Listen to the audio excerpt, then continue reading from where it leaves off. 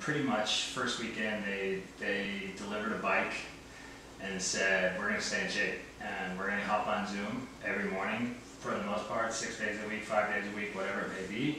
And there's a group of you guys that are gonna work out together. You're gonna have a trainer on, on staff who's gonna watch you guys and make sure you're, you're sticking to it, that your form is good, that you're Make sure you're working hard enough. working hard enough, that, that your things are modified if you have certain things that ailments that you're feeling and um, so yeah, my, my mornings, like I said, are pretty similar. I wake up, uh, have a cup of coffee and, and get activated and get ready to, to work out. And so a lot of days I'm on the bike, some days I'm outside running, uh, most days I'm doing some kind of a strength circuit. Um, so they're similar, you know, like I said, I miss the game, I miss playing, competing, you know, touching the ball and things like that, like I'm used to, but, but I'm staying in shape.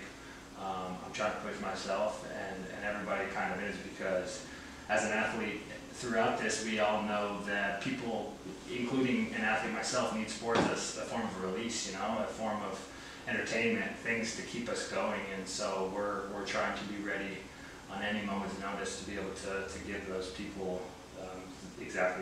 I think it's been really interesting for me because I'm training way more Mhm. now that we're in quarantine, Yeah, which is that.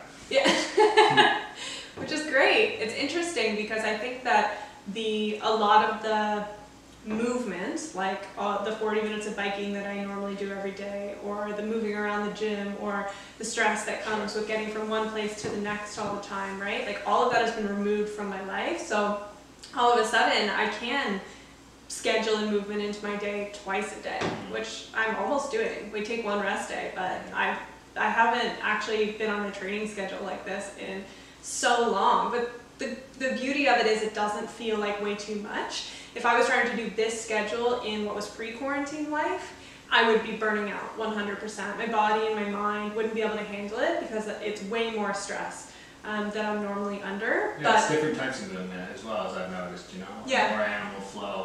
You're on the bike a little bit. You know, Mhm. you're outside running a little bit. You know, there's only so many things you can do without a gym and a full, full set of weights and a barbell and some of the things that you're so used to doing. So it's a little bit different, but you're right. It seems like it's been a lot. Yeah, but it's been good to explore the different variety and types of movement and do something that's different than what I would normally do. So for me, that part's been really fun.